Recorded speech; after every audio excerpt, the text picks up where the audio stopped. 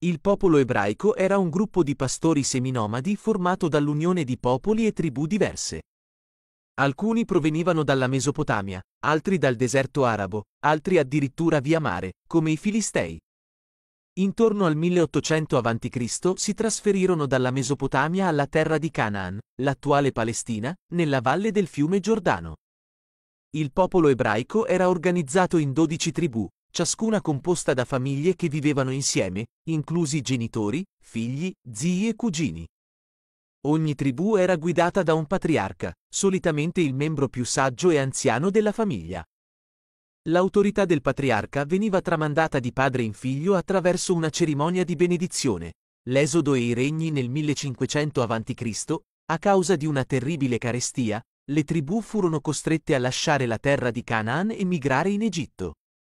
Dopo anni di convivenza pacifica e di lavoro su progetti di opere pubbliche, il loro rapporto con il faraone peggiorò.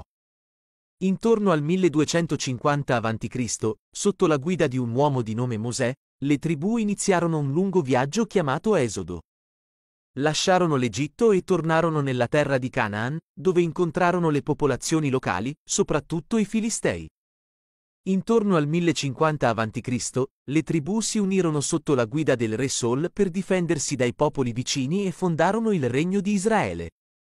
Dopo Sol, i re più importanti furono Davide, che fece di Gerusalemme la capitale, e Salomone, un re saggio che predicò ideali di pace.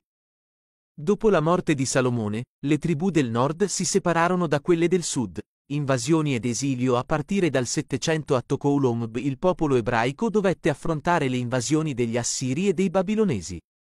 Nel 587 a.C. Gerusalemme e il Tempio furono distrutti dai Babilonesi e molti ebrei furono costretti all'esilio a Babilonia contro la loro volontà.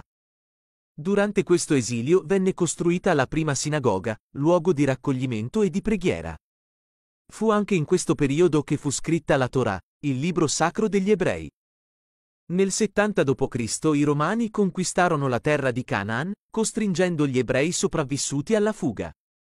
Il Tempio, ricostruito dopo l'esilio babilonese, fu nuovamente distrutto. Il popolo ebraico fu sparso in tutto il mondo, vivendo senza patria per quasi duemila anni. La vita del popolo ebraico per molto tempo il popolo ebraico fu nomade e allestiva i propri accampamenti in zone riparate vicino a fonti d'acqua e ai pascoli per i propri animali. Vivevano principalmente come pastori, ma quando si stabilirono nella terra di Canaan dopo la schiavitù in Egitto, divennero agricoltori nelle poche zone fertili disponibili. Coltivavano colture come grano, orzo, lino, alberi da frutto, viti e olivi. Erano anche abili apicoltori e si dedicavano alla pesca lungo le zone costiere. Il popolo ebraico era guidato da un re che aveva potere assoluto, ritenuto scelto direttamente da Dio. La popolazione era divisa in individui liberi con tutti i diritti, schiavi che erano prigionieri di guerra e non avevano diritti e stranieri che erano individui liberi ma non potevano partecipare a cerimonie religiose, possedere schiavi o sposare. Donne ebree.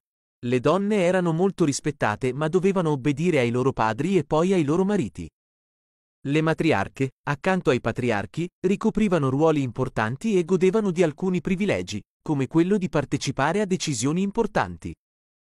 La religione e i simboli ebrei, a differenza di altri popoli antichi, gli ebrei erano monoteisti e credevano in un solo Dio, il Signore, che era il padre di tutti gli uomini e le donne e il creatore dell'universo.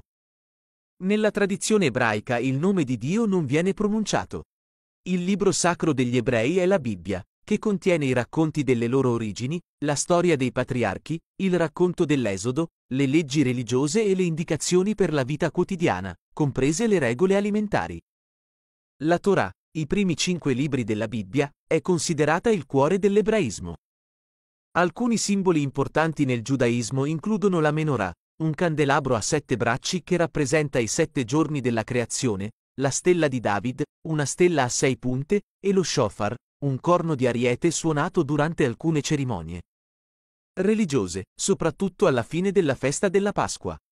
I dieci comandamenti, donati da Dio al popolo ebraico durante l'Esodo, furono incisi su due tavolette di pietra e furono conservati in una cassa di legno chiamata Arca dell'Alleanza. L'arca fu collocata nel tempio costruito dal re Salomone a Gerusalemme intorno al 960 a.C. Oggi rimane solo una sezione del muro del tempio, noto come muro occidentale o muro del pianto.